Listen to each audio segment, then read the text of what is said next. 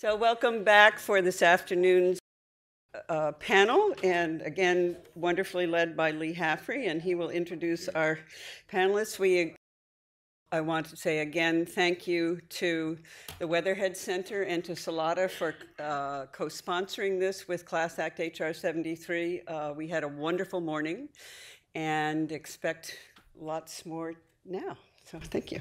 Thank you, Marion. And indeed, I, I hope that this second of our two panels will continue on the conversation we had this morning.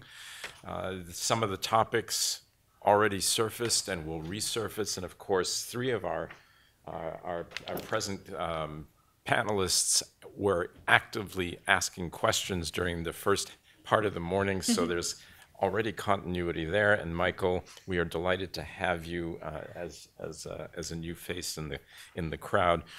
Let me uh, take a couple of minutes to introduce our panelists and and the topic broadly, and then we will proceed. So Kimball Chen is uh, chairman of the Global LPG Partnership. So, LPG, for those of you who may not know, liquefied petroleum gas, both butane and propane.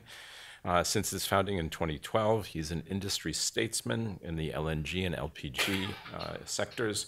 Has more than 40 years of experience as a CEO and investor, senior advisor to governments and international organizations. Uh, Kimball is also a member of the Harvard Radcliffe class of 73.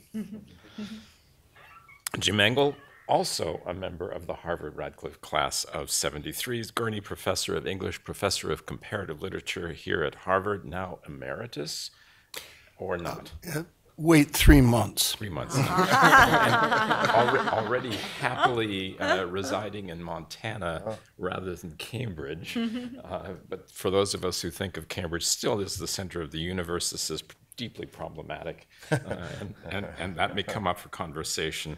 Um, Michael Hiscox, uh, Clarence Dillon Professor of International Affairs in the Department of Government at Harvard, also founding director of the Sustainability, Transparency, and Accountability Research Lab, so conveniently referred to as the STAR Lab. it's Lab. just a coincidence. a faculty member of the Behavioral Insights Group, and I think behavioral uh, is a component to what we're going to be talking about this afternoon, important as it was this morning, although we may not have used the term uh, there faculty associate of the uh, Institute for Quantitative Social Science, the Weatherhead Center for International Affairs, and the Harvard University Center for the Environment. Erum Sattar uh, leads and teaches in the Sustainable Water Management Program at Tufts, at the university's Friedman School of Nutrition Science and Policy, and the Tufts Institute of the Environment. Erum has a doctorate in juridical sciences, so she is the lawyer in the panel this afternoon uh, from Harvard University. Uh, her current research focuses on the legal and institutional responses to climate change as it disrupts water availability. And I apologize, Erum, if that feels very, very narrowly focused, but you can you can speak across the spectrum.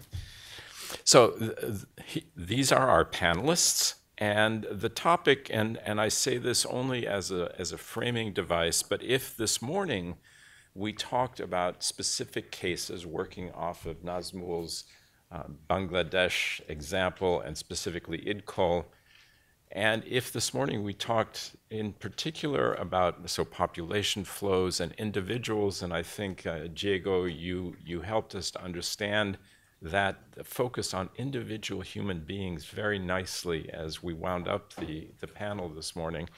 This afternoon, we're going to focus more broadly on institutions and systems, uh, which should not prevent the four of you from talking about people uh, if you feel so. uh, and, and, and let me start uh, in part, uh, Michael, because uh, you have not yet had a voice in our conversations, and ask you about behavior and climate change and responses to climate change. Great. Uh, thanks for everyone for um, inviting me here to participate. This is. Um, yeah, I, I think when we talked, Leigh, before the, the meeting, I, I thought about the research that I'm doing now and um, I started years ago working on sustainability and um, what companies were doing in their global supply chains to address a range of sustainability issues from mostly human rights and labor standards in global supply chains. Uh, you know, in, at the time, uh, we were still thinking about the anti-sweatshop movement and how big retail and apparel companies were responding to uh, claims that they needed to do something to improve standards in their supply chain.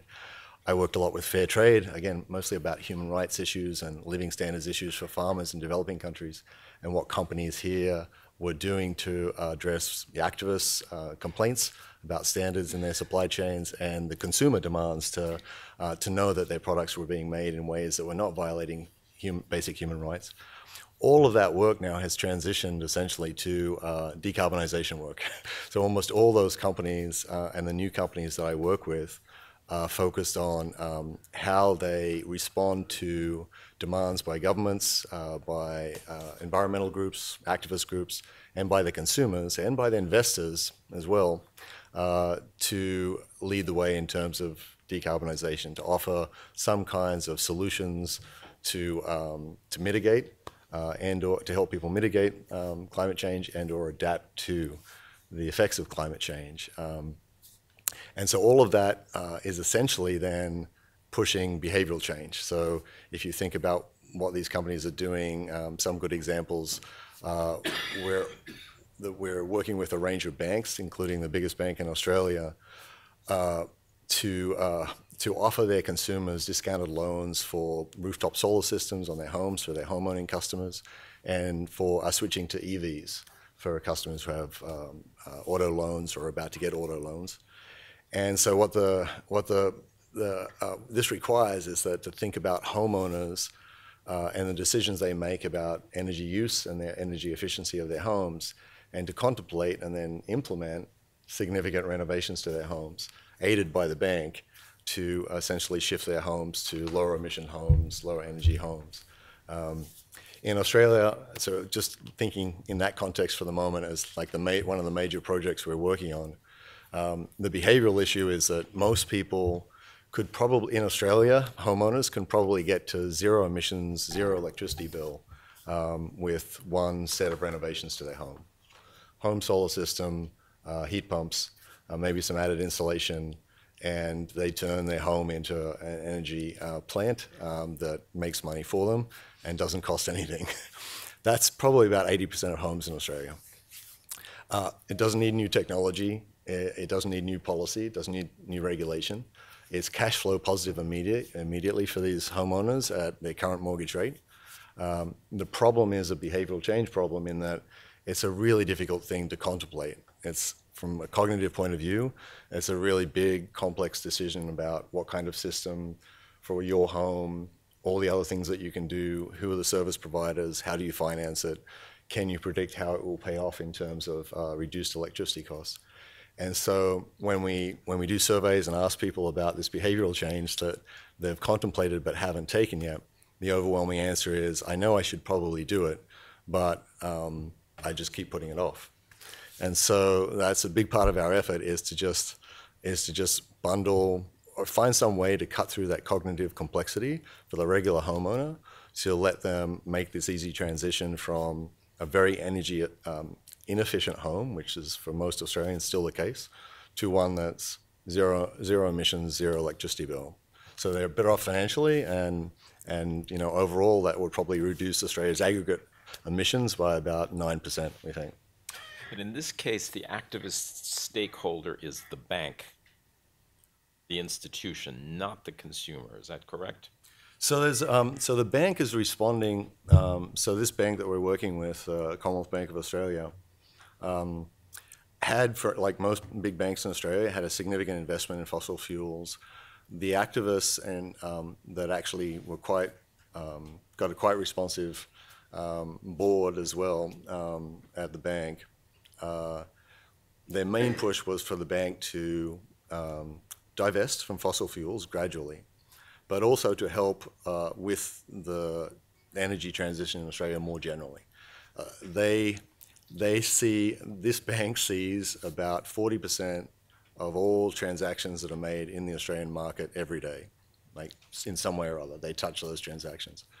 Uh, so their ability to uh, affect the transition in terms of financing that would uh, facilitate these behavioral changes, small business and big business, farmers as well as homeowners, is tremendous. Um, so all they have to do is sort of think about what they can do and whether it's viable from a business point of view. their customers seem to be demanding it and very, very happy about it. Um, you know, in part for environmental reasons, but in part because most of these decisions or behavioral changes are also improving their financial well-being. Um, the activist groups are very supportive, and the government is very supportive. Uh, the current government is very supportive. The previous government was less supportive, but the current government is very supportive. And so, um, in fact, I was at a meeting last week uh, with uh, the relevant department in the Australian government, and their list of things that they wanted to happen in this space with um, with EVs, with uh, with solar, renewable energy generally, um, looked exactly like the list of things that this bank was working on. They were perfectly complementary. Kimball, you have a different population, a different fuel Okay. behavior, motivation, incentive. So, uh, in order to, for you to understand the points I'm going to try to make, I have to tell you a little bit about what I do, why I do it, and general lessons I've learned, and then try to apply it to the subjects that we've discussed so far. So I'll try to do that very briefly. So what do I do? So I have a private sector set of activities and a public sector, sector set of activities. In the private sector, I've spent the last 50 years in energy, uh, uh, particularly gas, uh, but I've done green energy development. I've uh, advised, uh, I've worked in public-private partnerships on energy projects. I've achieved major change in certain economies. I, I did the roadmap for the Chinese government to develop their LNG sector, for instance. So, so, so getting large projects done in complicated political and cultural environments. I've had experience doing that for self-interest, but they always had a public interest uh, angle because our, our family company's history was do good and do well. So we had a sort of a, an internal family culture of not just making money, but making money in a way that would also achieve public goals that were synergistic with whatever the host government or geography was. Um, I've also done medical device development. I've, so I've had experience in a bunch of sectors, but principally energy. My public sector work is advising governments on energy security, the role of gas and other forms of energy in the economy, helping them develop the role of energy and energy mix in overall economic and social development.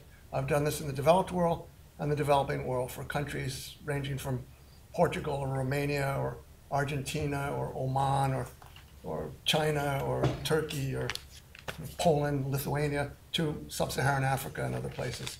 Um, my particular public sector responsibility right now is to run a UN mandated NGO focused on the um, assisting the developing world, or the global south as the new term is, on appropriate, the appropriate role of bottled gas, LPG, in their energy mix, especially for reasons of energy transition, decarbonization from business as usual use of wood and charcoal, and for a multiplicity of other social and developmental goals which can only be achieved by clean cooking, which is the subset of energy access that I am particularly asked by the UN to focus on. So that means things like health because you have cleaner air. Um, I don't know if all of you are aware that um, uh, air quality, uh, indoor air pollution is responsible for 4 million deaths a year worldwide. It's, one, it's the biggest uh, non-contagious disease killer in the world, it's, and it kills more people every year than malaria, TB, and HIV put together, but, does, but doesn't get any solution funding. Um, and the uh, World Health Organization, on several panels I sit, uh, is very concerned about this. And the International Energy Agency has now made this the year of clean cooking. So LPG is the most evidence-based transition solution which can be implemented and financed and is possible, but it faces uh, the question of, uh, of, of uh, existence and thriving in an ideological world where evidence-based analysis and solutions don't always win the day. And I can tell you more about that in, in, in, later in this discussion.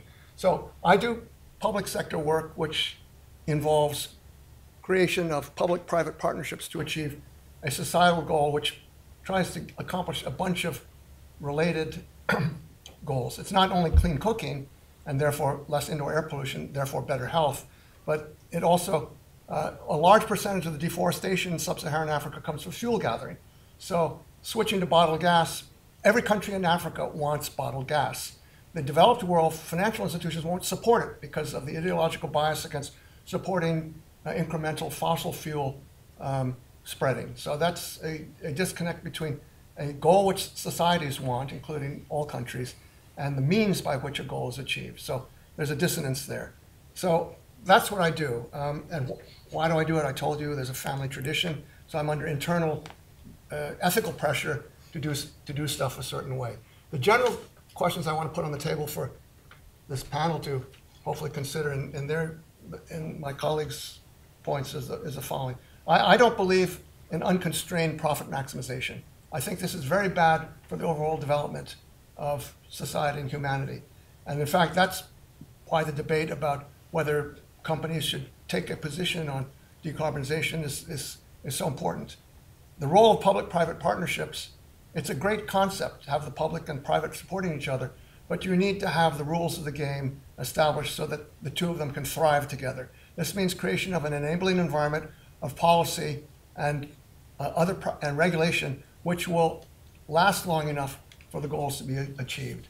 A third thing is you have to understand what actually makes private sector organizations make decisions and allocate capital. That is not focused on enough.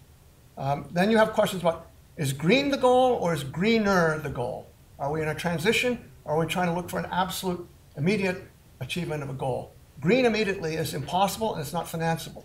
Greener is a question of degree and how, and then there are issues of equity and justice depending on global north or global south.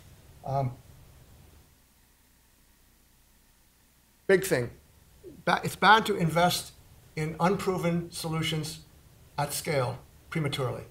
This is one of the issues about going electrical, which everybody will, uh, will understand. Every government, every prime minister and minister of energy in Africa doesn't want to invest prematurely in stuff, have to buy it from the global north and become an economic dependent on the global north and not develop their own human capacity. So you've got issues of justice and about uh, when is the right thing to do. Negative consequences of deglobalization. Deglobalization means that self interest and not the collective interest across borders, of- of- in other words, multilateral cooperation, uh, are, is going to become more important. So, self interest of nations is a, is a really terrible thing that we have to contend with in an increasing matter. Okay, and I don't believe in a lot of the blah, blah, blah places like COP and Davos and so forth, and I can tell you more about that later. Sorry, it took too long. Thank you, Kimball. You threatened a rant. I don't think this was a rant, but th- th- there's passion there. That's a very good thing. Uh, Erum, I see you have the latest New York Times in front of you. Is this a prop that with a specific I like purpose? show and tell. Sally was kind enough to give me her paper. This is yesterday's front page of the New York Times. And the headline says, The East Coast is sinking. If you open it to page 12, it's a double page layout. And what it shows you is where along the entire eastern seaboard of the United States there is land subsidence, which is a function of both sea level rise as well as groundwater extraction. So I think and obsess about water. These are linked, and it is absolutely linked to climate change. So I would actually really urge I mean, if you really want like a horror story, go ahead and actually read this because this is happening. And it goes to something that Michael said, which is if you somehow show people, they change their behavior. I'm a skeptic of this because there is plenty of evidence. People have run um, um, studies showing in Florida, for instance, where people have showed uh, property owners maps of like, this is your house and this will change your insurance rates. You are subject to flooding, and they just get blown off. They're not believed, and you know, it's not like grasped and internalized. So I'm that's sort of where I am, and that's my broad framing. I don't think so. Also, because before I ever went to law school, I actually worked in public health and in something very specific called behavior change uh, communication. So I really have an understanding of this from like the actual individual level to communities. How do they behave, and how do we get policy? Just a few other things, and I just want to acknowledge where we are and. Um, in terms of just again putting this out there so that you know just you have some of my data points with you Uh, so originally, I happen to be from Pakistan. We've talked a lot about Bangladesh this year, but I want to put a few things on the table. There were massive floods in Pakistan in 2022. About an area the size of England was underwater. That's massive, right, in terms of land mass. The estimated damage was about $30 billion. That that's what it would take to recover. Okay. At the moment, as we speak, there is some place called Gwadar, which is a major now wanting to be a port city. It's a big part of like the Belt and Road Initiative. Talk about geopolitics.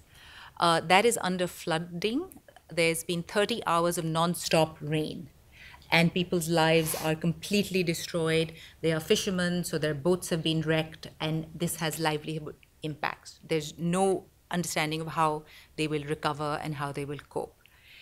As we sit here in Texas, the largest wildfire uh, in the state's history, as well as Oklahoma, 1.2 million acres is burning. There is talk about air quality and impacts on life expectancy and health. It's not just indoor air quality is bad. Um, we have estimates that all of the gains from air quality improvements will be lost and squandered because we will have uh, the wildfires, say, as burned last year in Canada, for instance, right? So all of us are the poorer. It's not just, it's not from stoves where we're burning wood. It, this is a much bigger global problem. So I just wanted to put the scale of that challenge and to put the UN climate change, uh, because I know the afternoon session is also talking about the potential for climate finance and how we may access funds for a transition. I'm a deep skeptic about how far we are from what we will need. Just in Pakistan's case alone, it is estimated that we will need about 350 billion dollars just for Pakistan, which is granted the fifth largest country in the world by population size.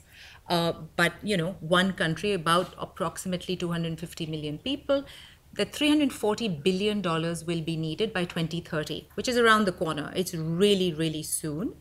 Um, and to date over the last 30 years under the un uh, framework convention on climate change and there are three facilities under that starting in the 90s the country has only been able to access $1 billion worth of funds. So the scale between what may be needed for a transition and what is on the table right now and in play is is is incredible to my to my to my sort of understanding.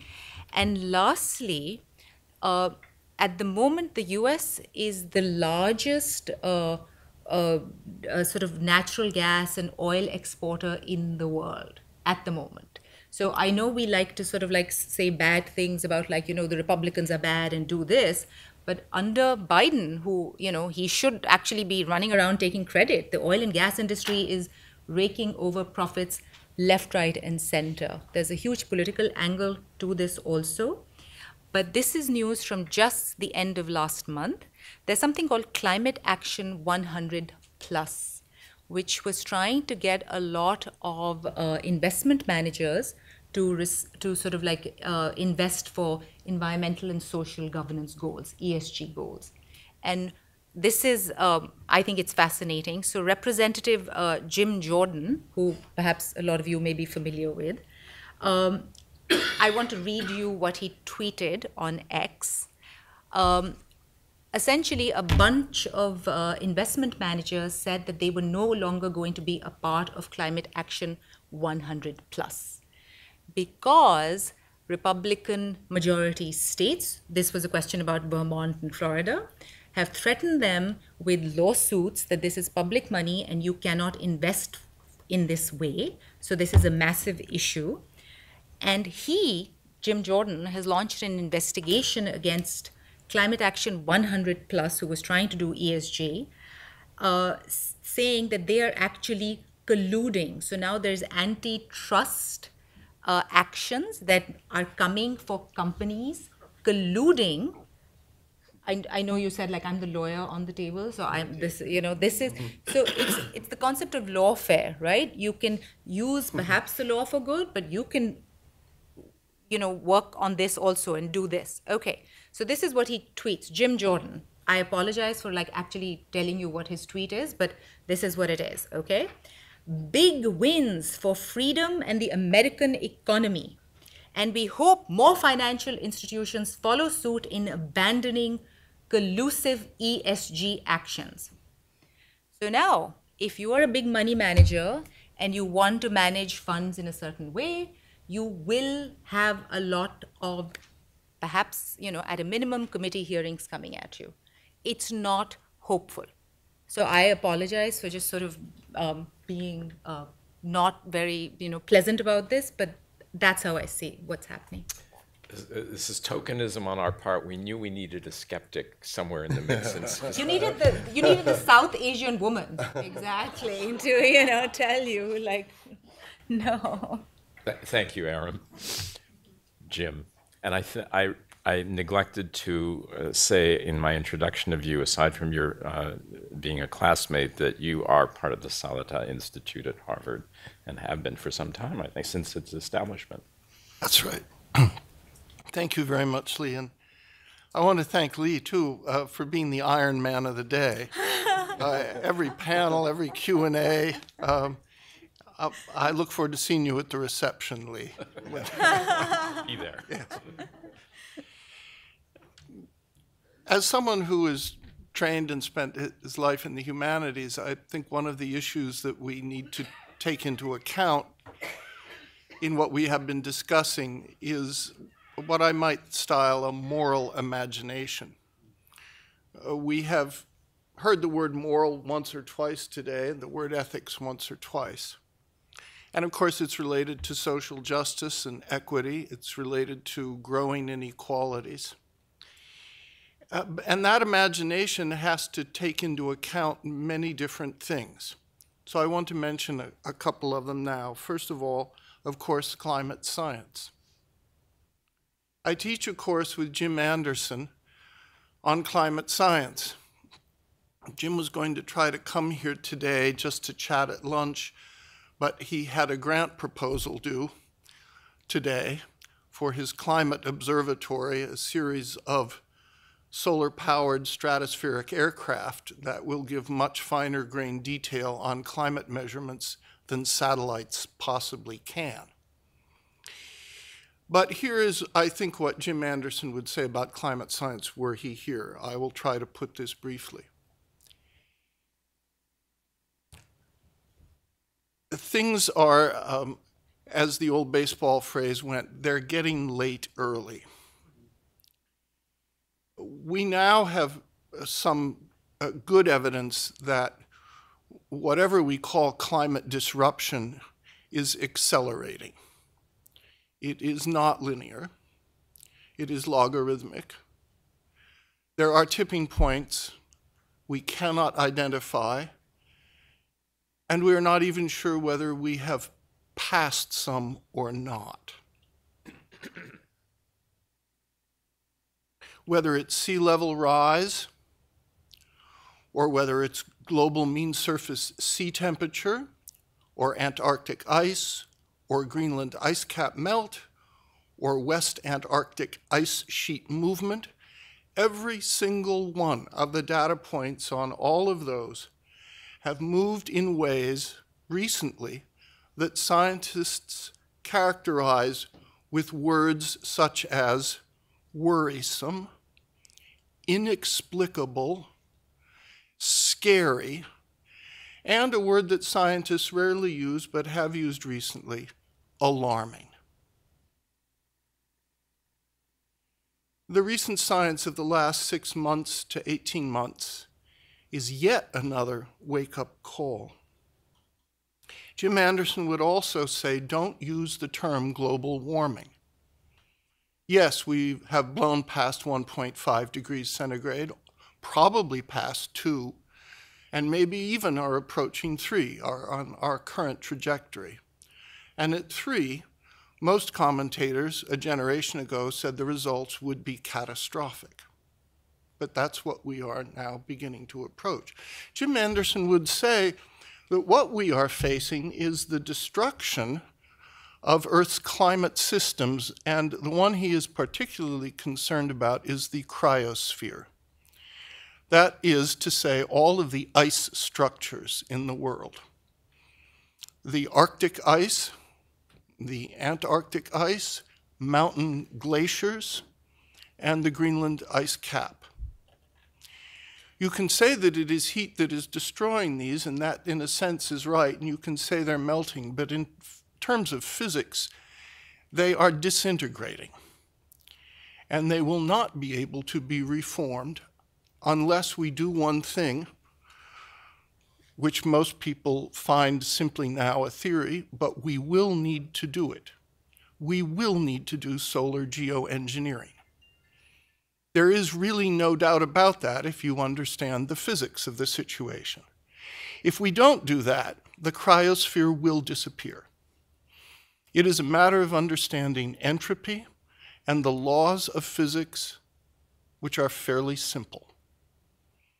That's where we're headed with our current science. This is generally known by a number of scientists, but it is not yet in the public realm. I won't go into solar geoengineering in detail. It's been done on a local scale in eastern Australia to help save the barrier reef. There are global scales of it, which are different, which have not even yet been experimentally tested. Can we take out enough carbon dioxide from the atmosphere quickly enough to stop this? Well, that's an open question, but that will need to be done too. Cut emissions drastically, which we aren't doing. Take carbon dioxide out of the atmosphere, which we are doing at a tiny scale currently, and perform solar geoengineering. That's really where the current science points to and it points to it more and more urgently all the time. Well, maybe I will provide a bit of a rant. so let me say a word about uh, economic study. If you have an opportunity to look at a recent article by Stiglitz, Stern, and Taylor, Joseph Stiglitz, Nicholas Stern, and Charlotte Taylor, they take to task the way the economics profession has treated climate um, the work of Nordhaus is important. He won a Nobel Prize. Stiglitz, Stern, and others, myself included, though I'm no economist, believe his discount rates are all wrong, that his estimate of damages are far too low, and that the idea of discounting human life is unethical. This goes back to issues of intergenerational justice. You start discounting human life in your economic calculations, and you're in for a different kind of world, maybe, than the one we've been living in. So, Kimball made a marvelous point. Unconstrained profit maximization is not what we really should be after. It's not that we want to do away with profit. That's not the point at all. There has to be profit. But unconstrained profit maximization is an enemy. So, between public, private institutions, policy, and regulation, we have to move the needle enough so that the current great flywheel of society is somehow redirected, that its inertia, which is enormous, is somehow changed. I go back to the point about imagination. To envision a world 20, 30, 40 years from now is extremely hard we all know, for example, that population predictions have so often been inaccurate. Predictions of all other kinds are often wrong. But I would suggest that a moral imagination, which takes into account the science, the economics, the inequalities of the world, the different impacts that climate will have on the poor and on the rich, suggest a radical rethinking of some policies in a manner that we have not yet achieved. That we are beginning to see it a little in the economics profession. We have seen it in the science. And we are perhaps also beginning to see it in the private sector. To coordinate these is an enormous challenge but it is one that um, I would go back to points made this morning by Diego and others. It's a, it's a challenge of social capital and human capital as much as it is anything else. Um, is there hope? Yes, I think there's hope. Um, but there's hope only if action is initiated, and we haven't yet got to the point where that action is catching up to the negative externalities of our previous action. Thank you, Jim. Let me take a piece of what you said toward the end and, and ask the four of you, so coming back to you as well, Jim, but yeah, you, you talk about coordinating across these different fields of endeavor. Do we see people who are actually doing that? I mean, is this uh, people, individuals, but also organizations, whether it's private sector, public sector, people who, ha- who are engaged in the, the kind of coordination that you're asking us to do in the name of what? Moral imagination, if I remember correctly. Yeah. Well, just very quickly, Climate 100 Plus was trying to do that, and then, then they got slapped. Um, but yes, I think there are, and there are individuals who are certainly trying to do it. Uh, and there are companies that are trying to do it. There are. It, it's well, I'll name Kimball's company for one. I mean, and and there are others. I mean, there are some energy companies in the world that are investing more and more of their capital expenditures into things that aren't exploration and extraction. Um, not the big ones and not the state owned ones yet, but sooner or later, I think people will realize that if they don't start doing that, they are on the ship with everyone else. And um, that takes a moral imagination because it means getting out of your own self interest. Yeah, I think um, I totally agree. Um, just thinking about um, you know what was what Erum said about behavioural change. So Australia is a good case study of what happened after the bushfires. Um, you know, what three, four years ago. Um, you know, we were monitoring. I was there at the time. We were monitoring public opinion and climate change, uh, our environment in general was. Um, was rated, I think, seventh in polls on the most important issue for Australians. Every, you know, it was jobs, economy, it was healthcare, it was a few other things. Uh, within the space of two months, it went to the most important issue for all Australians by a clear margin and stayed that way for a long time. It's uh, it's second, I think, at the moment. Um, you know, at the time we had a conservative government, including that had a whole bunch of climate change deniers. Um, uh, you know, we have now subsequently had a complete change of government that was based upon people saying that their government wasn't doing enough to address climate change quickly enough. Um, and, you know, the, the new government has changed completely, and there's a whole bunch of, you know, it's in a tough position because it is facing those trade offs between, you know, the price of energy and how that affects uh, those in the in, in, lower income levels and managing that um, as well as addressing climate change but it is now doing something very quickly. And all the leading companies in Australia, they're, being, they're going to be at this event that I'm going to in two weeks, uh, all the CEOs of Australia's largest corporations, uh, to talk about uh, the transition in Australia, how long it will take, how to speed it up, what companies can do in concert with government. Um, I've worked on behavioural change. I started the Australian Australian government's behavioural um, economics team, 2015, and worked on a whole bunch of projects where we had tremendous success in large-scale behavioural change.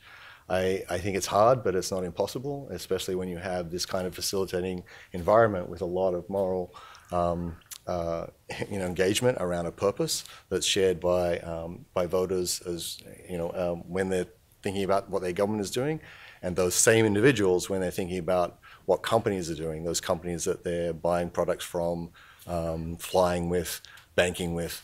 Um, and so I think, um, you know, watch this space, but I think I think you know dramatic change is possible. It it requires, and it's not to say that behavioral change alone, you know, the power of consumers shopping more smartly, will do it. Right? It's just that we should that should happen and be accelerated at the same time. And those same people vote for governments that can create structural change uh, with new regulation. So the two go hand in hand. It's not um, it's not one or the other. And I think we're seeing it go hand in hand pretty effectively in Australia at the moment. So we did talk this morning about a unifying narrative. It sounds like you have engineered such a narrative. I think, uh, well, it frustrates me. Um, you know, I've never said behavioral change, individuals taking action is the solution to all our problems.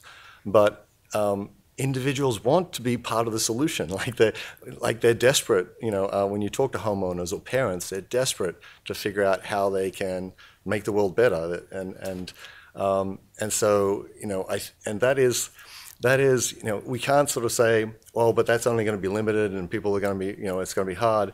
But so we want some top-down solution that we, as as smart people, say this is what the government should do: carbon tax, whatever it is.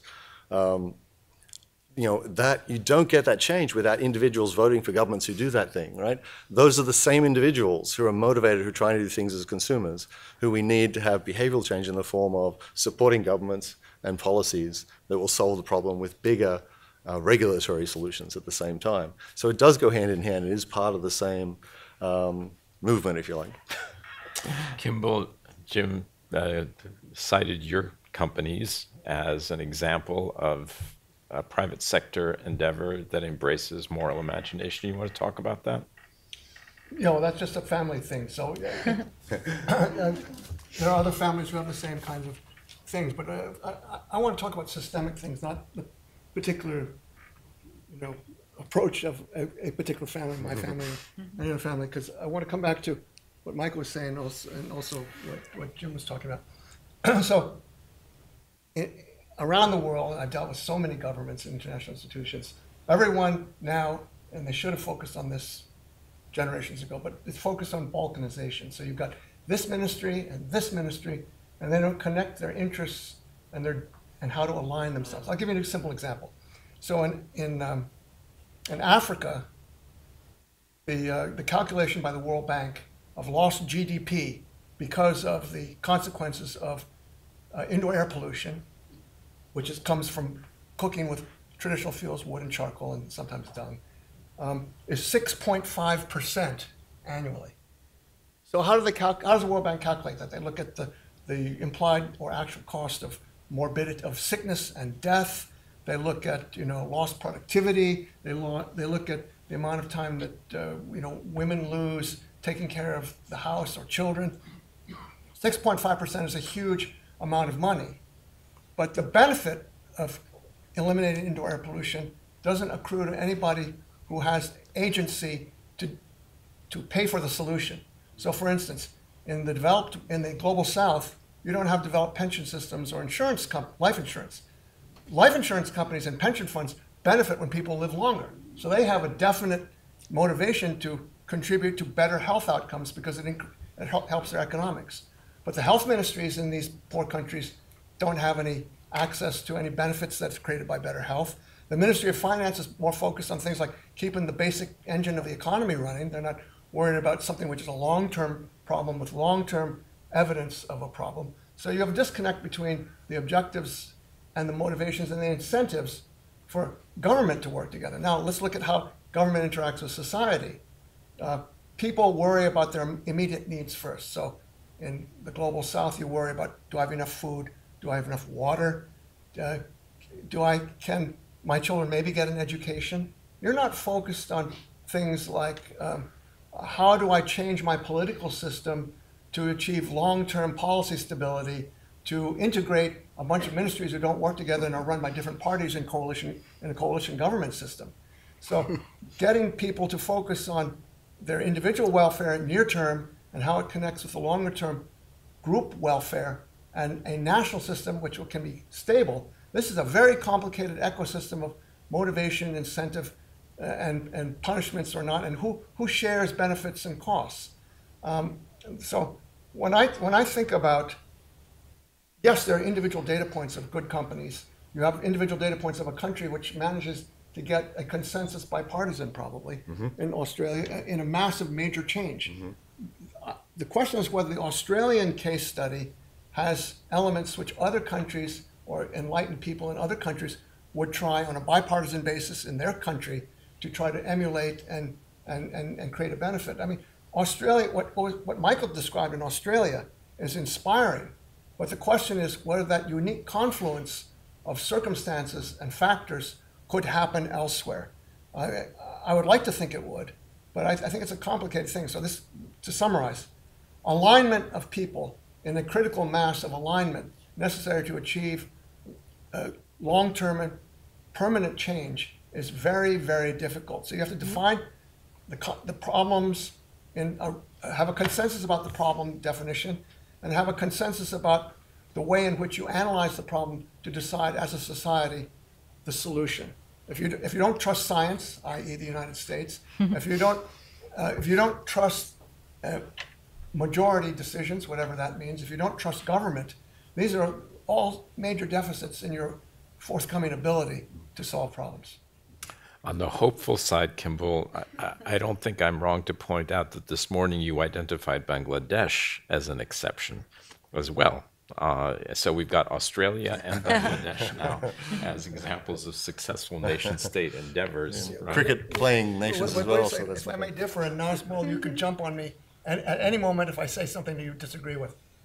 Bangladesh, uh, you had technocrats looking at human needs, defining a way forward with the whole government behind it, all the ministries, and you were able to effect a solution, even though the general population wasn't uh, knowledgeable about the larger issues and consequences. They were looking at their immediate need, which you satisfied.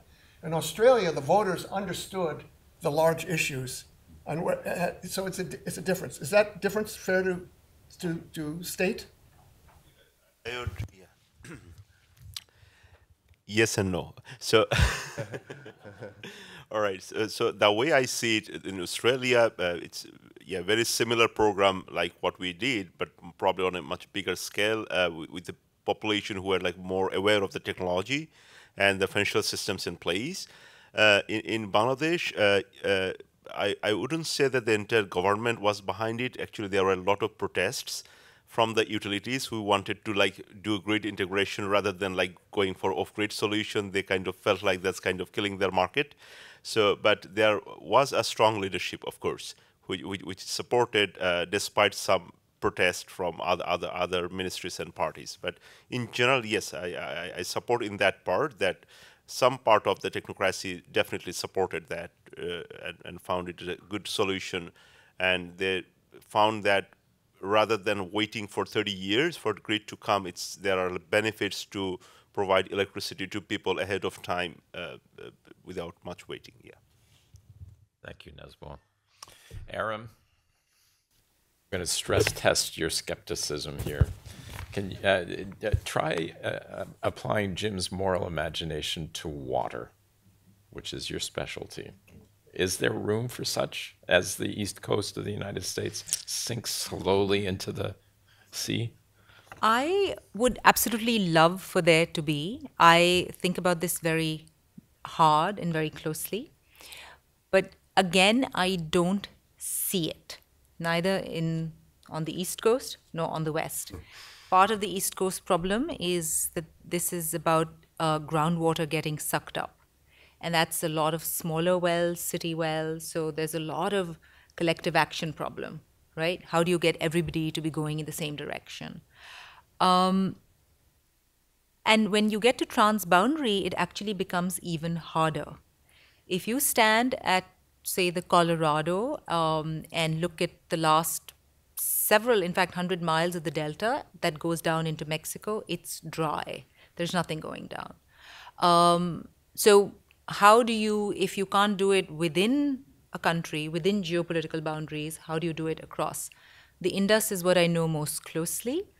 There, the prospects of cooperation between, say, the two biggest protagonists, right, India and Pakistan, is is is very broken at the moment. Now, maybe everyone will become very, um, um, you know, self-enlightened and think we should think morally and that we have to think for generations out.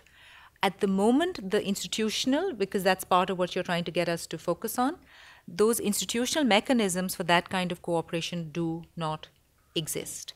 It's in no one's interest to sit and talk to somebody else and try and figure out a better way. And there's no institutional collaboration that'll make that possible. So, specifically with water, and the reason water is important, you're absolutely right, is because it is massively affected by climate. The more the planet warms, the more drying we're going to see. And a flood is very visible, right? And you can see rain, but a drought is harder to grasp. Um, at the moment in this country, we are sitting um, US snowpack coverage is at 13% of national average. 13% at this point in time, and today is the 1st of March. So this is a huge problem. What will happen in spring? What will happen in summer? Will we have to go more to groundwater to live? Which is exactly what will happen, right? I can completely envisage the city of Cambridge sending me a postcard saying, We're in a drought in summer. It's going to come because we have no snowpack, right? So where are they going to go? Um, so I, again, um, you know, I know you want to stress test my skepticism, but I think it'll hold up. I, am going to bet on that for you know. And and yet here you are on a panel on responses to climate change. To, to maybe raise, raise like give us the night the heebie-jeebies right like we need to sort of wake up and think oh my god are we grasping the chemistry and the physics of what is happening I May I inject, uh, can I Please. add to her skepticism, but then give a Please. ray of hope? So to satisfy the Thank you, Kimball. tumultuous masses here. here here I think climate mitigation is a lost cause until we reach a step change in the actual physical uh, makeup of the world, so maybe 100 years from now. So I think we talk climate mitigation, but uh, change mitigation, but actually what smart people and smart government should be doing is, is focusing money and long-term investment and policy on adaptation. I, I think climate change mitigation is a, is a lost cause in terms of uh, two degrees or th- three degrees. Um, one of our classmates, you, you know uh, Jesse Ausubel? Yes. Okay, so Jesse Ausubel is the, is the, as a leader in dec- decarbonization thinking. He's organized the first COP for the UN. He started writing papers about this back in the 1970s, one of our classmates. I had lunch with him in New York, and, uh, and he said, you know, um, we, we, in a deglobalizing world with the geopolitical problems we have right now, there's going to be no cross-border cooperation. So we have to just live our ge- next generation has to live with the consequences. Mm-hmm. So let's prepare for the consequences. Mm-hmm. Sobering from a guy who has a long perspective mm-hmm. on this. So I, Jim, and then I want to come back to you, Kimball, because I think the, the, the distinction between mitigation and adaptation, which surfaced in this morning's discussion, needs further expansion. Can I ask, there's no ray of light. in I know where was that I know Okay, the, the ray of light is, is a following. Pro- Probably, probably be- there is a, a, some distance between uninhabitable Earth and an Earth in which a certain amount of humans can live in geographies as may be habitable at the, that time. Okay, so, so there's some hope for some portion of humanity for several hundred years. Okay, how's that? Very thin. that's the best he's gone Can, can you save us, Jim? Well, we need to save ourselves, yes. Uh, insofar as the question of mitigation and adaptation has come up, because it's an important one, there was a period of time, now clearly past, in which some people said we need to focus completely on mitigation and put all our energies there and think later about adaptation. That was misguided because they didn't have the imagination to project what was happening and therefore what would eventually be the case. On the other hand, if one defines, as it generally is defined, mitigation to be the reduction of greenhouse gas emissions, that's the scientific definition of mitigation, we will have to do that. We have to continue to do that because otherwise we are signing a death warrant, not just for ourselves, but for many species.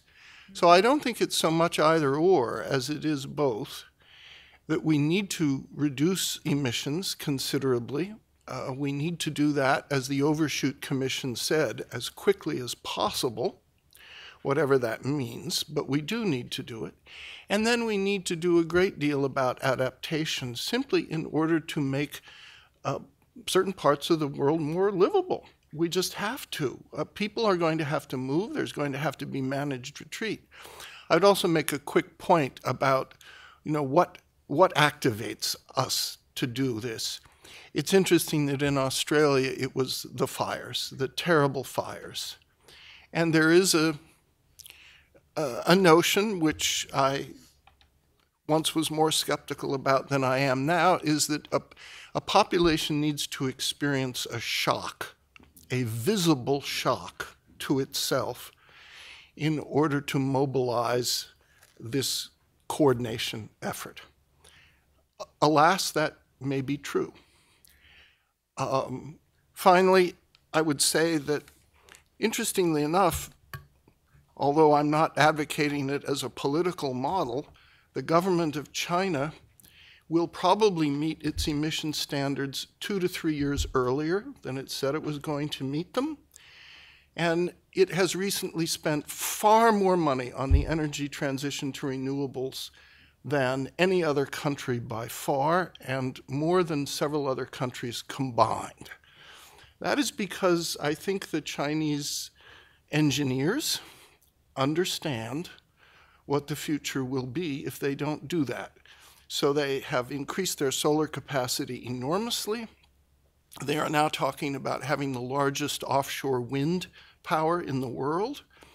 And they have another resource that this country also has, but the Chinese are beginning to develop, which is geothermal. So, you know, can it be done? In fact, despite the fact that we all hear American politicians say, well, the Chinese are emitting more than the US, the Chinese curve of emissions looks a lot better now than it did a few years ago. And their actual investment in renewables is remarkable. And, you know, you'll soon be seeing Chinese EVs in your American showroom unless people want to keep them out. We need to talk about the political framework within which that is happening. Well, I said I'm not holding that up as a political model. Uh, that's a difficulty, Uh, it is. That is, I mean, to a large extent, a centrally controlled economy, increasingly so uh, recently and it's an authoritarian state in many respects. Um, I guess my only point is that one can, under certain conditions, mobilize such resources. That is to say, the resources are there. That's a question then of mobilizing, and maybe it takes brush fires, or maybe it maybe it'll take uh, three Category Five hurricanes in Florida. I don't know, uh, one after another. But that, that actually is another question. So the, the, the fires in, in Australia were significant. Uh, we we talked about Vermont earlier, uh, and Vermont is the least likely to um, among the what is it, uh, 50 U.S. states, uh, Peter, to be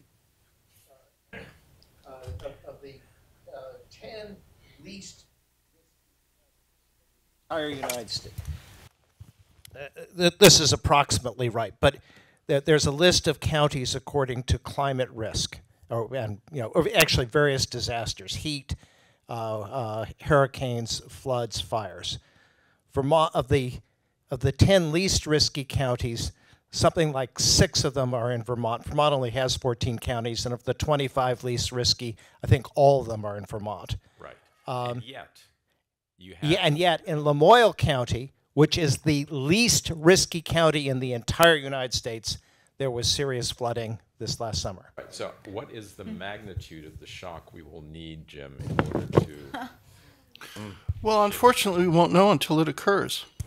You know, shocks can have a deleterious effect on policy decisions by, uh, mm-hmm. in, in, a very weird way. For instance, the Fukushima nuclear disaster in Japan chilled nuclear power development globally. And yet, a lot of climate advocates and, and, and policymakers mm-hmm. understand that nuclear power is the best way to decarbonize, and you have a, a, a, a, a very concentrated risk of nuclear uh, dis, um, disposal. But it's different from everybody dying from climate increase, uh, you know, mm-hmm. temperature increase. So, mm-hmm. so nuclear power, what's France? 70% nuclear power? Okay. Well, they're in a pretty good position. Look at Germany uh, trying to go green, and they have a huge economic and political crisis. So, you know, it's, it's uh, disasters don't always have a good effect. They can have a chilling effect on the long term decisions made by other people. Well, I was talking about climate disasters. Uh, Fukushima was a man made disaster in large part because they didn't build a seawall at the recommended height. Mm to protect the insanely positioned emergency water pumps, which were not up high but down low. Anyway, that's, that's another story. Erum, it looked like you wanted to get in. I just wanted to put the conversation of uh, which, as we know, 2024 is the year of elections, and a huge sort of chunk of the world's population is going to the polls. Um, I think that uh, uh, national conservatism seems to be on the rise. The Economist had a long piece on this. Farmers are on the march in many European countries, and there's great pushback against the EU's green recommendations. Um, and they're saying the tax is going to fall on farmers. And farmers are, in India, they were up in arms starting last year, but now across Europe, we are seeing farmers are on the march. So to say that the politics cannot be delinked. And absolutely politicians and those in power have to respond to you know what their populations are upset about. And um, you know if you threaten that we're going to shut down paris macron has to respond. Someone has to figure out that we cannot shut down paris. So it's not easy uh, to to sort of stand for doing something that may be in the longer term interests of humanity but here you are and you have an election in six months and uh, you know that'll be that. Um, we see this across the uk we see everybody um, sort of walking back promises that they have made that they will you know do uh, because they're facing significant pushback Right, and so the the idea, and and and it makes perfect sense that we can't delink politics from the the the responses broadly to climate change, still stands next to Jim's assertion, maybe invitation to recognize that someone's got to be coordinating across sectors and across industries, across interest groups, right? Uh, and and when I ask, so who are we talking about? I think we got a couple of examples. I, I, don't want to let that question die because in, in the face of our radical panel skepticism, I think we still need to hear at the end of this, which will happen in about 25 minutes, that there's some hope somewhere in here for all of us collectively. But the audience has questions for you, lady and gentlemen. So the floor is open. Questions? Peter?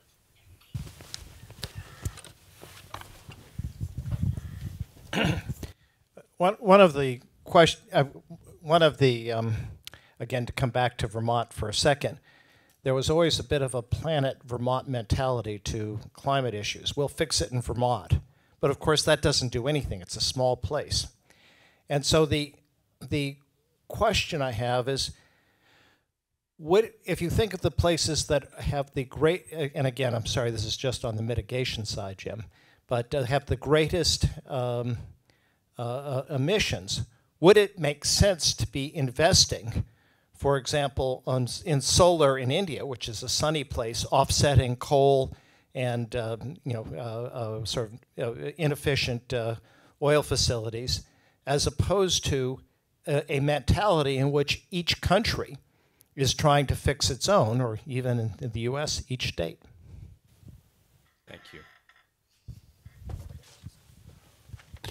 I think that's possible. Uh, I mean, a lot of this has to do with a willingness to look beyond one's own self interest and to look to a, a, greater common good and to understand that what is being paid is not just an expense, it is an investment. But of course, that's very hard for private companies to make. Now, there are a lot of public utilities in the United States, and there are also a lot of privately run utilities in the United States. And I happen to live in a state now in Montana which did away with its public run utilities and now has private utilities that are supposedly under the aegis of a public service commission, which seems to have forgotten the word public. I'm not kidding. So I, I think, Peter, that a lot of this has to do with governance. And to go back to Leigh's question, I want to suggest a bit of hope by looking historically at this crisis in the light of other crises. Almost all other crises which are, to my mind, somewhat analogous to the human suffering that is being inflicted now were addressed by a mass movement, very often of poorer or dispossessed people. The abolition movement, which was, of course, led also in part by well to do people, but the labor movement, the women's movement, Gandhi's movement, uh, that is what I think we will ultimately see. I would not be surprised if at a certain point in the future, in various countries or across borders, you saw very large numbers of individuals who traditionally did not have a powerful voice actually come together under a leader whom you may not like for the modes being used, who is going to insist that change comes because there has just been too much suffering. We haven't used the word suffering much, but in the end, that's what we're talking about here. And I think that that may actually bring change. Uh, it has seemed to be required in every other similar situation historically. Uh, because the individuals who are in power very often don't seem to be able to coordinate until they're forced to. And you don't have to have a democracy for that to happen. Part of the reason China changed some of its environmental policies was because there were riots in the northern cities over air pollution, and they just couldn't stand that kind of public pressure, although they didn't publicize it. Erum, Kimball, Michael? Could I just take a slightly different uh, sort of take on this? So I actually think that we are there are very good uh, sort of models that say by the end of the century what's the likelihood of what degree of warming. And one of the highest thinks that we'll get to 4 degrees celsius increase.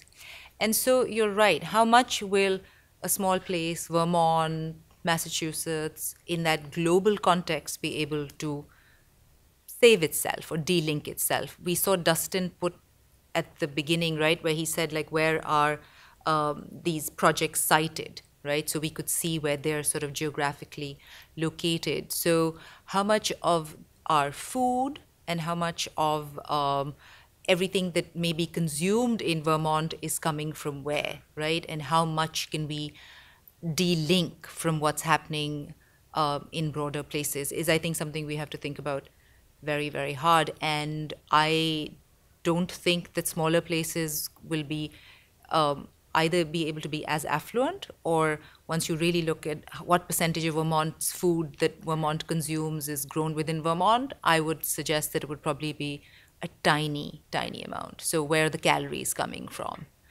My, my point's a little different, which is Vermont, you would do, do much better. Not, you, sorry, if you're in Vermont, you would do much better not to be looking at Vermont solutions than to take the same amount of money and invest it in India where you're going to offset more carbon. And therefore, it really isn't a, a, question, Jim, of, of, of, you know, being generous. It is in your own self-interest to, to do that. Yeah, I would agree completely. So, it is self-interest rightly understood. Yeah. I mean, in some sense, the slogan, um, think globally, act locally, might be turned around. Uh, think locally uh, by think locally by acting globally. I think that's a lot of what the investment sort of trajectory change movement was about. That look, it is in your own self interest to invest like this because you may actually get better returns and get all of these other benefits, and you know it's better for the longer term. But it is it's a challenge. Not that it's not a good idea to sort of try because we wanted to think that you could do in investments you could do well by doing good. And that now is facing significant pushback that no you can't actually do as good. I used to co-teach a class with an economist and one of the things apparently economists talk about is uh, revealed preference and so, you know, when you go, an economist does a survey, would you pay more for better tuna, right? Safer tuna. And a lot of people will say yes, but when they actually go to the grocery store, much fewer will actually buy the more expensive tuna. So economists like to apparently look at revealed preference, uh, which tells you how they're actually behaving versus what they're saying that they will do. So, you're, you're getting a, a, a victory sign here from Michael. You want- Yeah, our, our nods are like immediate responses. He's like, uh, that's my language. well, yeah, but uh, I mean, so that, I mean, that's why we have behavioral economics is because we don't trust revealed preference because there's a whole reason, there's a bunch of reasons why people can't turn good intentions into actions, right? Mm-hmm. And it may be because the messaging is confusing, or because you know they have a habit, or because they have problems of self-control, and like it, it's not that they their stated preferences are untrue. Mm-hmm. It's that acting on those preferences is, is difficult for lots of reasons that are beyond the control of the individual. Now, it is true that there's social desirability bias, and people know that the right thing is often Yeah. this. And so, yeah, I love my mother. You know, I'll buy the I'll buy the low carbon thing. Uh, uh, you know, but it's also true there's a lot of people who want to buy the low carbon thing and they can't identify it because it's very difficult to do, right? Or, or they don't have the resources to do it because it's priced too high. So um, I think we just yeah, I think we have to take that with a grain of, grain of salt. But I wanted to, I'm going to jump the queue and respond to Peter's point. Like, um, so a bunch of the companies that I work with, and I think it is in response to you as well, Erum, is that, that um, uh, you know, so a lot of the work we do is still in the, the supply chain area with big companies in food and fiber. So Heinz is one, uh, Woolworths, a big grocery chain in Australia. And uh, so they're under a lot of pressure from both investors and their consumers uh, to both report their, their full carbon accounting, in, including their scope 3 emissions, and then to make a difference, to show progress on that. The place where they can make the most uh, progress is in their suppliers in developing countries that are using old t- technologies and haven't introduced any. So for them, it is the exact place to put their money, and they can corral money. Part of it's you know government subsidized, part of it's philanthropy, part of it's impact investing, part of it's theirs. But they spend that money there, and they get a huge reduction in emissions compared to if they spend it in Australia. So it's exactly your point. Yeah. Wow. Oh. I, I, by the way, I don't know why I was given this, a very short chair. and I don't everybody else got- either. That was, that was, okay. I, I think, I like the idea of not trying to create pressure inside a, a given country to achieve change which is against the run of the, the flow of the river in that country, but rather utilize existing incentives to transfer the actual implementation action to some other place where it can happen. So I like the idea that in a profit maximizing country like the United States, with perhaps a strong current political bias uh, impeding uh, aggressive climate action, reducing consumption, all, all the things. I like the idea that if you have a global market where U.S. companies can burn all the coal they want here, but as long as they do something that creates incremental energy supply for the developing world, and therefore global, on a global basis, per capita uh, consumption of energy is less per unit of emissions, that's good for the global commons, and everybody benefits. The U.S. guys get to do the bad thing, but they get to do the bad thing in a way which generally benefits the common, uh, the common goal. So I like not trying to change selfishness. I like to channel selfishness. I'd like to channel selfishness in a way which creates a common result and a good. That okay? sounds very behavioral. Yeah. Yeah, It's not, it's not, um, it's- this is not behavioral change. This is, this is, this is giving current behavior a chance to express itself in a way which benefits the group. I'll give you an example of that, a brief one. You know, the Inflation Reduction Act, which is something of a misnomer, uh, is really a huge climate bill, and it had a lot of opposition from the members of the Republican Party. The states in the United States, which are now reaping the greatest business and economic benefits from that bill, are controlled by Republican legislatures and governors. They are the ones, whether they admit it or not, who are now benefiting the most from the incentives to bring in large industries and big businesses into their states. At a certain point, if only privately, that might just change their minds to some degree. It has certainly changed their behavior, actually. Michael, you have the, the, the smile of someone who's saying to myself, I pity the unenlightened. No, no, no, no, no, no, no, no, no, no, not at all, not at all, not at all. No, I uh, totally agree. And to um, to Jim's point too, like this is this is almost, almost like a political economy point, right? Is that you're essentially you with this with this kind of shock, this one change that that got through, you're creating a um, political coalitions that will support, you know, we think, we hope, maybe more likely to support continue um, uh, the, continue the transition. Um, uh, at least, yeah, maybe it's reducing the opposition in terms of the the invested interest in those places. Um, but I no, I think I'm you know all for enlightened self-interest. Um, I would just to Jim's point, actually, I would just say that you know another part of behavioral economics is uh, what we call other regarding preferences, right? So, and we often discount this in the study of economics. We focus on what people you know would rationally do to maximize their individual self-interests in terms of financial rewards. That's sort of you know 90% of economics. Um, but I think you know that downplays the extent to which we as as humans uh, care for each other and care for the next generation, our children, and um, and and have a moral identity. And invoking that moral identity is incredibly important. And and um, dismissing that moral identity and introducing market norms. I mean, this is what Michael Sandel has written about extensively. Um, you, that's very uh, dangerous. Uh, so there's a lot of areas of our life that are governed just by what we think is our moral identity and what is right and appropriate to do in that, and it's not affected at all by individual, you know, self-interest. If you think about littering, um, what are the chances of getting caught and fined littering, especially in the in rural areas? When I was growing up in rural Australia, everyone lit it on the highway. Everyone. There was no social norm saying you don't do that. Um, same with cigarette smoking, you know, in, in small rooms. Everyone did that too. Now, that is definitely not acceptable behavior. Um, and it's not because you're getting a chance of being fined. It's because we all accept that, that it, there's something wrong with that behavior. And uh, you're outside the group. You're another if you're doing that um, these days.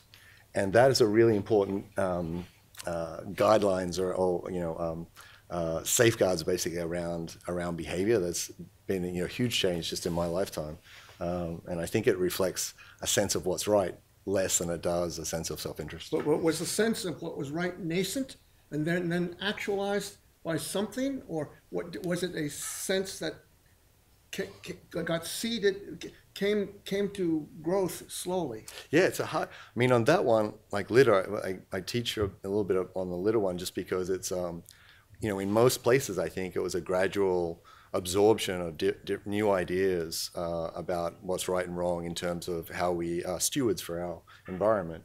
Um, there's one case where it was a sharp change. Probably p- people know this case, and that is in Texas with the "Don't Mess with Texas" anti-litter campaign. That that slogan comes from a the Department of Transportation's anti-litter campaign began in the 1980s in Texas. And it was like an ad guy given the commission. He didn't know what to say at the last minute. He said, oh, how about this? Don't mess with Texas. And uh, they rolled that out, highway signs, billboards. They had Dallas Cowboy footballers on TV saying, don't mess with Texas. And, and they very quickly transformed the set of norms about what you, you know, whether it's okay to throw things out of the car on the highway in Texas to be an issue of state pride which is a little bit of genius in that, right? You didn't convince young men in Texas to care about the environment. You made not littering about state pride, right? And that dramatically transformed um, that just that one state in terms of highway littering. So, you know, there's, I think we just have to not only limit ourselves to, to self-interest and think about financial reward um, and financial costs. We can think about, to Jim's point, I think about you know, the moral vision here and how to engage it in a, in a broad way. And we've seen versions of it before in lots of areas of life. Diego. Yeah. Uh,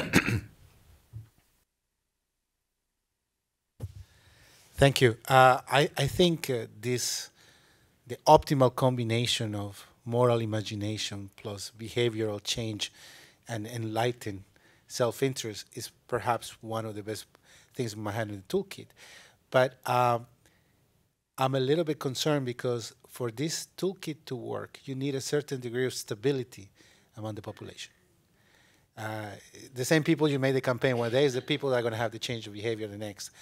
And uh, we are going to be, well, we are facing a situation in which uh, not everybody's in Texas, not everybody's in Texas the next day and the year after.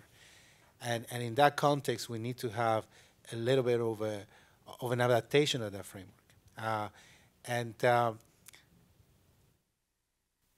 everything that is also related to moral imagination to the extreme also lends a lot of ammunition to extreme positions. And that I'm very concerned. In the case of a, of a political polarization, the same argument that, can, that I can use for not leadering in Texas can become, you know, I let you all you imagine what can that be. So it's important to keep that in mind. I think we have time, given that the past 20 minutes have been the response to the first of the public questions. I think we have time for one more question before we close for the, uh, uh, for, for the next break. Yes, please. Hi, uh, Brooke Suter. Um, so this idea of trauma and the idea of trauma igniting action, um, what I think about with regard to that is trauma igniting inaction uh, and the fear response and the contraction and the tightening of um, the ability to think um, in a generative kind of way and move just towards a survival mechanism. Um, and one of the things I particularly like about the Don't Mess with Texas example is um, some way to give people uh, a, a focus forward.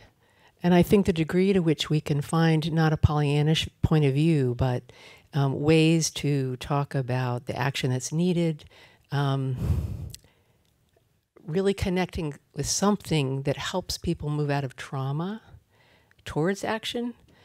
Um, and I also wondered if any of the, the folks on the behavioral insights side of things had seen any research around, um, to your point about it being sort of a gradual change. Um, I wonder if there are sort of uh, you have one trauma, you have one event, and you can sort of discount that as a one off. Then you experience a second event, and you start to go, hmm. And then maybe you experience a third event, and then you're like, oh, shit. So I'm wondering if you've seen any evidence of that, um, because I know I think a lot of people were, were pretty horrified after Sandy, yeah. and then all of a sudden everyone kind of ignored it, and then floods in Houston, and then oh everyone ignores it, and then uh, it's it's just sort of stunning to a, a, lot of us how these things are completely discounted after the fact. So, um, just curious about some of those things and understanding we're not all rational. What does it take to really get down through the different layers for someone to have it be part of the identity and a willingness to change? Yeah, uh, it's a tough one. Um, I don't think there's any, not that I'm aware of at least, any specific research on the you know, uh, sequencing of events, especially extreme weather events. You know, we, we've um, we've done some research in Australia from um, a panel study that has uh, was a longitudinal study. So we have we have people in the in the study that have you know been through severe drought, severe heat, um, bushfire, and severe flooding, and so you know we and but all of them are sort of uh, at this point. Um, uh, you know, in the 90 to 95 percent, climate change is the most important issue, uh, sort of bucket. Um, I think we, you know, I haven't seen a study that sort of looked at whether or not there's, in some places with some, you know, perhaps more extremist messages on, on the other side pushing back, saying we've always had extreme weather, weather's always been going. You know, if we'd had had they'd had more exposure to those other kinds of communications, would they have made the change to in terms of their attitudes um, that the one that these people have in Australia? It's an interesting question. Um, other like the other transformations of beliefs, basic beliefs about political issues that we've seen have been gradual. Like the one that comes to mind is um, uh, one that you know we talk about with stereotyping and um, and attitudes towards uh, female participation in the labour force, and where it was in the, at the time of the Second World War, when the government had to campaign um, very actively to change stereotypes about women. The Rosie the Riveter campaign and the whole, you know, um, uh, push to have women into the workforce because it was necessary for the war effort was a huge change. But nevertheless, participation and the views about female participation in the, in the labor force took decades to evolve to where they are now. Um, so it's a, you know, it's an interesting that you could think of that as a traumatic event when you know when like a huge change was needed and demanded, um, uh, and subsequently there was no other events. There was a gradual a gradual change, but it took a long time for beliefs to change. So I haven't seen direct evidence on it, but it's an interesting one to explore for sure. Erum? Um, a couple of things because I love the framing of trauma, and I think you're absolutely right to pinpoint. I think there is massive trauma, social, um, and it is perhaps not as well understood. So I agree with that. On Australia, what is fascinating for me is how much Australia is still a mining nation and how much emissions it produces per capita. If you look at those numbers, like the whole story about Australia flips on its head, and you think, oh my God, this is an incredibly polluting nation. And if you listen to activists uh, who fight back against uh, mining projects, I mean, that they are undergoing serious trauma. So that, you know, it's not sort of like some kind of rosy story. But there's two historical examples I think that are interesting. Uh, while the British ruled what was then United India, there were significant famines and there were millions of people who died. And this is uh, understood very well. Uh, Amartya Sen has written some about this also. But um, the history of famine in uh, the you know what used to be United India, which is now three sort of independent countries, is is largely forgotten. People don't remember that actually this was something we experienced serious hunger. And all it gets coded in is maybe some stories that you hear from your grandmother or she heard from her grandmother. But there's no social response and there's no understanding of this was massive social national trauma. And this is what you know we we can perhaps do with it as a response. So malnutrition stalks um, all of these countries. I mean, in some places it is as bad as sub Saharan Africa, where we're looking at 40% malnutrition, especially in under five. So, that history you can say of famine has sort of just disappeared from our collective memory and we don't understand. But the Dutch are a very interesting, positive example of how they dealt with their history of trauma during World War II and they suffered immensely also, especially under you know what was happening to them from Germany, um, and they essentially went ahead and d- decided that we are a very small landmass. We need to produce food, and they began to do it in completely different ways to the extent that now people from around the world, especially the so called developing world, go to Holland to study how the Dutch produce food and how they grow their food. So they took their famine history and they put it in how can we do this better on very small landmass. So there's fascinating, there's no one way, like why didn't India do it or why didn't it do it the way the Dutch did it? Um, but yes, can we learn from what the Dutch did? I think we can. Michael? Just on, uh, reminded me of another great example of reform in, in political history is uh, the reform of the, the repeal of the Corn Laws, mm-hmm. and in, in the UK in 1846, right? So it came after several bouts of the potato famine, uh, to the point where the Tories, who were still, for economic reasons, like very much supportive of tariffs, um, were, were essentially, you know, like what did Gladstone say, like to Cobden, something like, you know, you, you must defend this because I cannot you know, it was like essentially a moral issue to point at that point. It's just like people are dying in the streets. It's like, you know, we can't continue with this policy anymore. Um, and that was a national trauma that had been experienced actually several times leading up to that point, um, led to a major reform. Um, Jim? Well, reactions to trauma do differ, and I think very often they differ on the basis of what institutions are in place to deal with them for example, to take uh, Superstorm Sandy, which, had it gone on a slightly different track, would have hit Boston and flooded 25% of the city of Boston. Well, it hit New York City. New York City now has the most significant sea level rise storm flood plan of any city in the United States because of Superstorm Sandy. The residents of New York City may not realize that, uh, and probably don't. But New York City is probably more prepared for rising sea level than, oh, say, certainly Miami or Norfolk, Virginia, or any number of other cities. So very often the reaction is at different levels, and you don't always uh, don't always see it.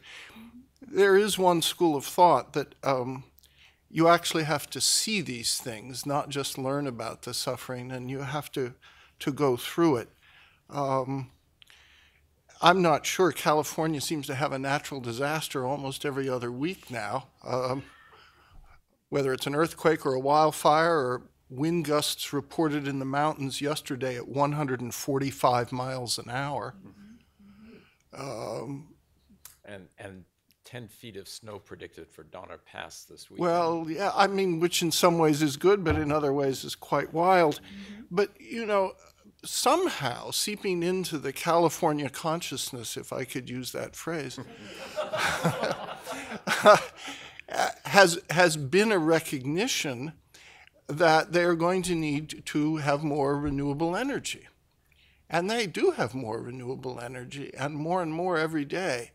And they have faced the problems of storage, and they have faced the problems that they used to have rolling blackouts. And there are lots of minuses as well as pluses in some respects, but they, as a state, along with some of the other Western states, are actually making very significant progress in ways that some other states aren't. And it may have in part to do with the wildfires and the droughts and uh, all of which have different causes, including high tension lines and so forth. But they wouldn't have caught so much had the underbrush not been so terribly dry and so forth. So I think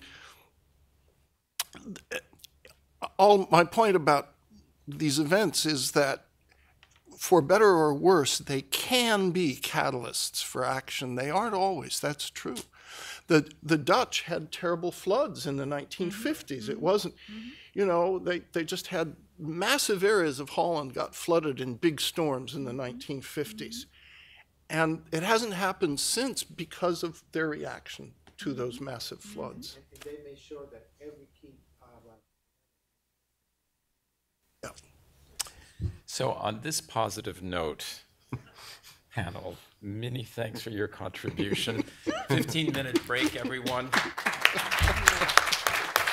Thank you.